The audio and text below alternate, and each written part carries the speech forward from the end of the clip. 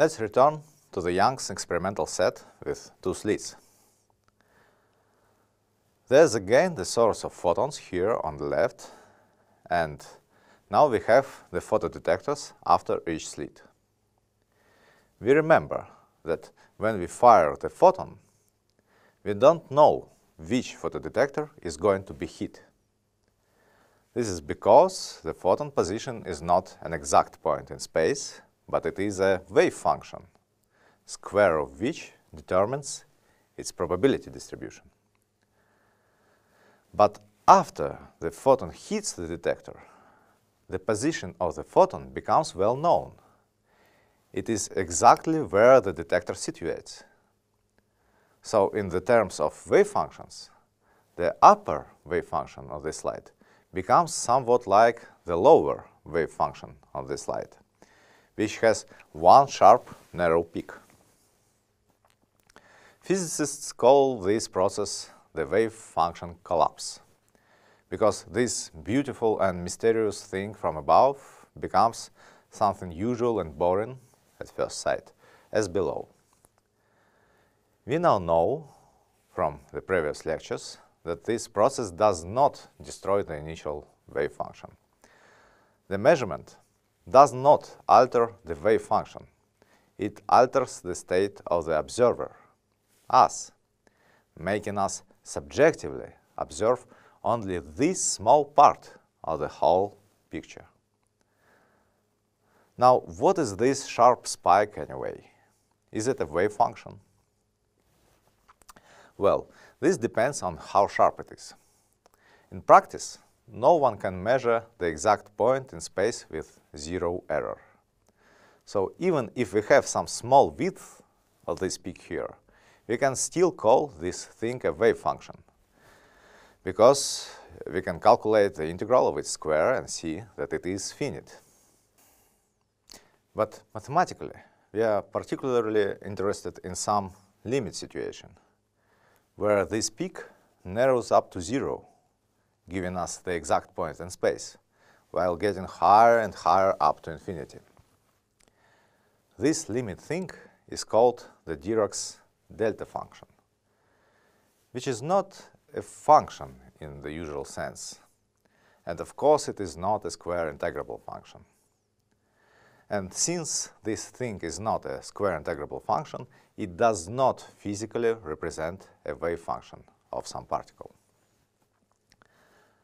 Our interest in delta functions is explained by the fact that they form the orthonormal basis in the space of square integrable functions, which means that any wave function f can be represented via the elements of this basis. Well, yes, these delta functions don't even belong to our vector space of square integrable functions, but still they form the basis there. Rigorous proofs are not the subject of this course, so you have just to believe me here. And I just used the term orthonormal concerning these basis, but I did not yet explain what orthonormal means in this space.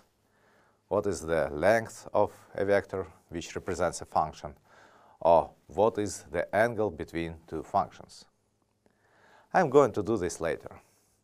Now again, I want you to believe me. We can consider these bases as orthonormal.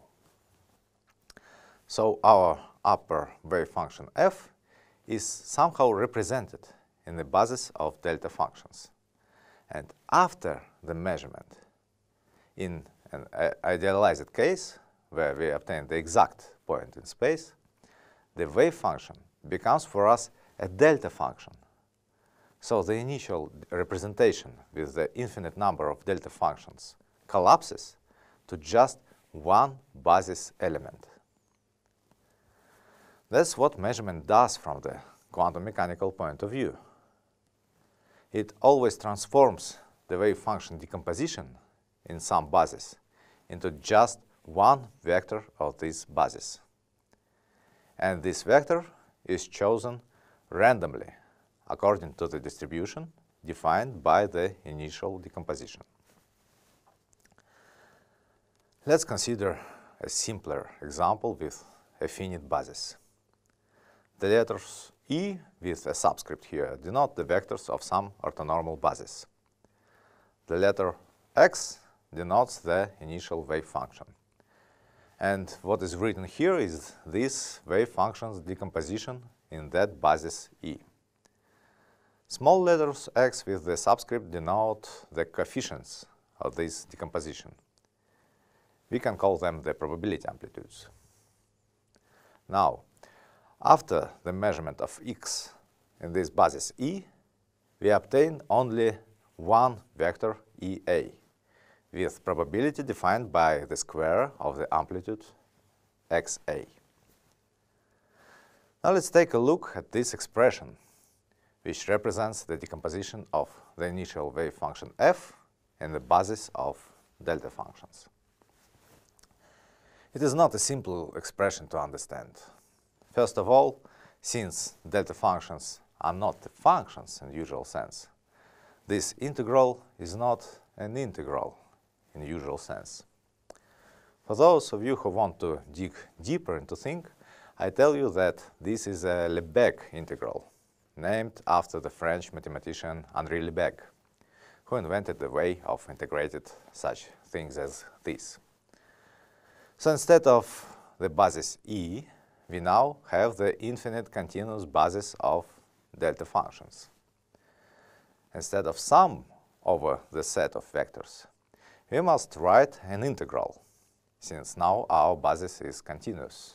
And instead of xa, we write here f of a, which is the coefficient in this decomposition. Again, I don't expect you all to understand this expression here. The point is that after the measurement in the basis of delta functions, we obtain one delta function with probability defined by distribution f of x squared. Okay, it's time to repeat what we have just said. First, wave functions can be measured. Second, the measurement procedure can randomly give us different results. Third, the whole set of these different results form the orthonormal basis in the space of wave functions. Now, this is very important point. We can measure different things about a particle. We can measure its position in space, its momentum, its polarization, its energy level, etc. But for any such measurement, the set of all possible outcomes form an orthonormal basis in some vector space where we consider the measured wave function. 4. After the measurement, the wave function collapses, subjectively for us, to one of these basis states. The probability for the basis vector to be chosen by the measurement procedure is defined by the square of the coefficient before this basis vector in the initial decomposition. This set of possible outcomes, which forms the basis in the wave function vector space and defines the characteristics of our measurement procedure, physicists call an observable. More precisely, it defines what physicists call an observable. But we are going to talk about this later on the week 4. Now, I suppose it has been enough learning for one short week. Let's take a rest and continue learning on the third week, where we are going to discover qubits and how they correspond to, the, to everything we discussed here. Goodbye.